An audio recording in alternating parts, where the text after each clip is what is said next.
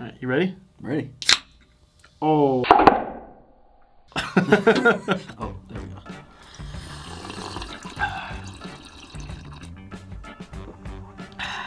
Now we're ready. Mm-hmm. Hey guys, James with NewBeeDrone here, and today I have Kyle, aka SD Surf and Sand Team Pilot, introducing his new frame, the NewBeeDrone Silverfish. So the Silverfish is a 240 millimeter Stretch X racing carbon fiber frame. As you can see, this is a pretty unique frame that Kyle himself has actually been working for a while to design. So Kyle, can you give us a little insight on why it's designed like this? And it's it's pretty unique. So can you go over some why you designed it and why it's like this and why it's different from other stuff? Basically, the idea behind this frame was I wanted to get the battery as neutral as possible. What that does is it allows the center of gravity to rotate around the battery rather than on top or below the battery. Keeps everything in line with the props and just gives you that that nice locked in on edge feeling. I wasn't satisfied with how most frames were uh, or are uh, currently with either you really only get the top mount, the super top mount, or the the bottom mount. But they're really, I haven't really seen any frames that have been able to really put the battery right in the center of the frame. And that's kind of what we set out to do with this frame. So the Silverfish comes in this nice black matte box and we've got some kind of glossy black text. I don't know if you guys can see it. Yeah, you can kind of see that in the video. And then we've got this nice uh, chrome silver for the actual Silverfish logo.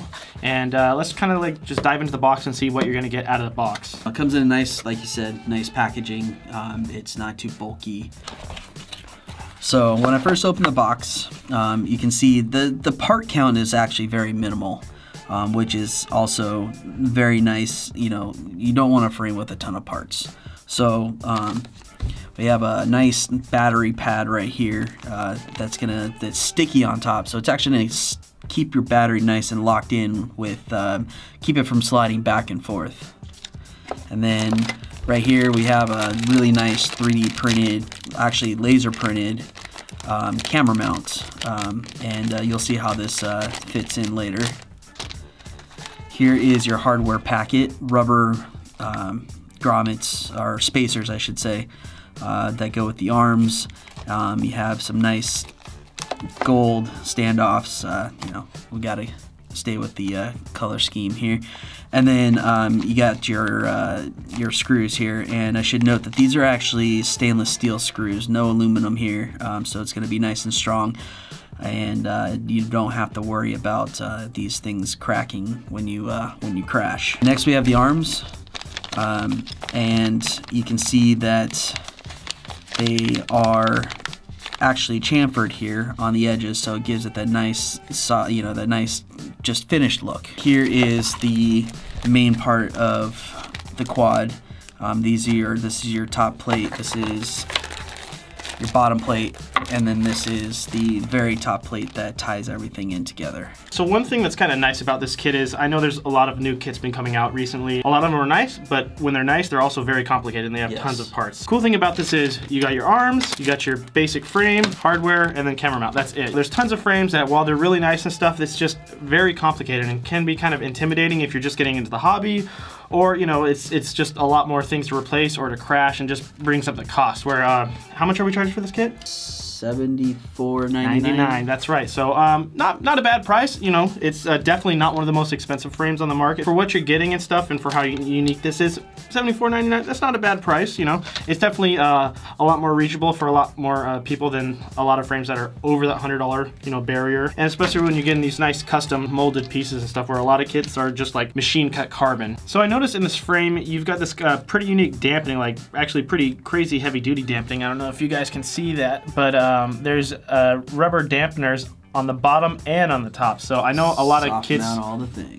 Right. Yeah. I know a lot of uh, kits claim they're you know very good for vibration dampening, but you don't see a lot of kits that have this like dedicated top and sandwich, you know, ice cream sandwich um, style with the right. dampening. So why don't you uh, talk to us a little bit about that and you know how that came into the part of the design? One of the uh, ideas from the beginning was you know how can we stop the, all the vibrations getting to the the flight controller. Back when we started working on this over a year ago, um, it was most people were just 3D printing, you know, TPU um, arm mounts or, you know TPU spacers um, to put on the on the arms underneath the motors, and that was kind of like the when people first started doing them uh, had the idea of doing vibration dampening. Right. Oh, let's put it under the motors; it'll stop it from coming down the arm. Well, that works to a certain certain extent.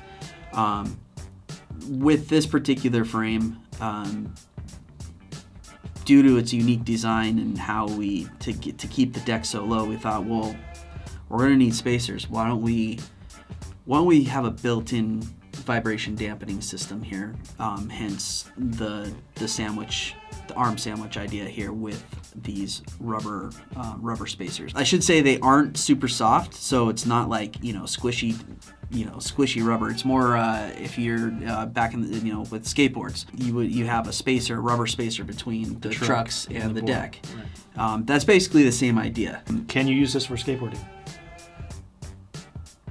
I'd like to see you try. So what that allowed us to do was basically so- s- soft mount these arms in such a way that it provides the space needed for the flight controller and stop um, isolate the vibrations coming from you know or potential vibrations coming from your your motors Right, because you see a lot of uh, frames talking about how they want to, you know, isolate the dampening just with the flight controller by using grommets or something like that. Right, exactly. But you take it to a whole new extreme level where you've got, you know, double layers on each individual arm, so that's probably Exactly. a lot more effective than just having it where the actual flight controller mounts to the board. Because Exactly. not only do you have this, but you can also do that as well. So then you've got even more layers of vibration dampening. Right especially if you're running like uh, super high kV motors where I know the magnets are pretty strong and they're not as smooth as like lower freestyle motors. Mm-hmm. Exactly. So, you know, even more of a benefit for that. yeah that we want to stop the vibrations getting to the flight controller altogether and you'll see later once we uh, deconstruct this you'll see how that really all ties in together Listen. So as you guys can see, this is actually a pretty unique frame when it comes to mounting the flight controller. You're not going to be running super high stacks or anything. For this one, you're want to run a flight controller that's a all-in-one type, so you're to fit it in the space down here, and then you'll want to run like, you know, individual ESCs. We're to have Kyle take this apart and show you it with a flight controller mounted in there, ideally how you would want to set it up. all right so we got the uh, the top top plate off here uh, this is your uh, 3d printed camera mount here which would you know we'll, we'll you'll see this later but basically it just slides over these uh, standoffs here just pull this top plate off here. You can see here that I already have uh, some I'm actually using plastic um, plastic screws uh, because like I said earlier there's nothing uh, the, the flight controller is not bolted into the arm. So you don't it doesn't need to be necessarily strong or super strong. Um, and depending on your flight controller or your setup everyone's gonna be a little bit different um, will depend on what you use here. But um, for me I'm using these plastic these plastic screws. You'll notice that this particular FC actually comes with um, the rubber dampening uh, like we were talking about earlier. We already have the rubber dampening here but this is going to go ahead and further um, isolate any other any other vibrations using um, using these. Uh, and on this particular build I even have another rubber grommet here. So I'm essentially taking away all vibrations possible. Uh, so what I'm going to do is just uh, go ahead and slide this on. You'll notice that the uh, that the power, um, the the ground and the positive are are on the back here, and we'll just go ahead and pop this on here. Another thing I'd like to point out about Kyle's frame is that you can see even though we have this pretty big flight controller for what it is, this DYS, you know, all in one, uh, if you look closely, you can see it's it's cut out to fit even bigger flight controllers in there. So if there's, you know, other brands that you're looking at doing or, you know, it's even kind of future proofing in case they come out with bigger boards that have, you know, more features and stuff. We kind of made sure there's enough space so that you can fit a good majority of in there for stuff like that. Now we've got the frame back together with the flight controller just put in there so you can kind of get a reference to how it looks when it's uh, installed in there. See if you guys can see that, but yeah, there we go. Pretty pretty tight little fit, but you know, it's a, it's about like kind of saving space on this. You know, most flight controllers you're getting nowadays have a lot of all-in-one functionality built in, so you don't need room for a giant stack that generally wastes a lot of space. You can also see that uh, you know you still have still have access to your USB port, uh, and actually on this particular one we still have oh what would you say, a couple millimeters on on each side. I don't know. I never learned how to count. A lot of people they run their uh, for bottom mounted stuff, uh, their straps under the flight controller, and I know with this frame you can either run the battery up here or on the bottom. Uh, so I'll go ahead and uh, we have a battery here. It's a Nitro Nectar 1500. Wow, I heard that's the Oh. best kind. fantastic. So what I do personally is this is the I found this is the best way to keep the wires from getting hit from the prop. Um, is that we uh, take the take the lead of the battery and we slide it in the front here, and then this just slides all the way up like that, and the battery sits nice and snug right in here. Look at that. You got the battery directly inside the middle of the frame. Usually on, you know, frames like this, you got it sit on the top. And what I think is kind of a cool feature about this is it brings a lot of the uh, the weight to the middle, so you go uh, middle, so you have a good center of mass. Whereas, you know, with a lot of top-mounted batteries, you'll have it on the very top, so it's very light on the bottom, but then you have this huge battery weight on the top, so it's kind of not super even. Right, So- exactly. my personal favorite way to mount the battery on Kyle's frame is actually running the battery on the bottom. And you might think, well, why are you going to do that? Then you'll have a big gap right there and there'll be a bunch of empty space, right? Right.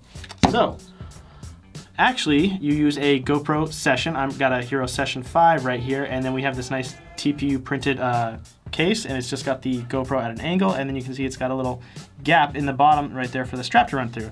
And this case is perfectly fitted, so you can actually just pop it in there and set it to sit level, and then bam, you've got the GoPro mounted right there. And the cool thing about this is, instead of having the GoPro sitting on the very front, hanging up, you know, which makes the weight of the copter be a lot in the front and then raises the uh, center of mass. You've got it all in the center right there. So you're kind of staying in the theme with the frame as much as you can for a GoPro mount. And then you would just mount the battery on the bottom right there and you would run the strap through the bottom of this TPU mount and then over the bottom of the battery and you're all set and you can fly it like that. And I personally think that's really cool. But you know, if you're going for just racing where you're not worried about HD footage, then you just you know throw it on the top right there in, in the center, and bam, you got the best performance possible right there. So that's a short overview of our brand new NewBeeDrone Silverfish, which is our Team Pilot Kyle's signature frame. If you guys have any questions or comments or want to know more, you can check the video description below or go on our website newbeedrone.com where you can purchase this. Thanks for watching, guys. We'll see you in the next video. And uh, make sure to go buy one. Yes, you won't be disappointed. I hope not, I don't disappoint. ladies.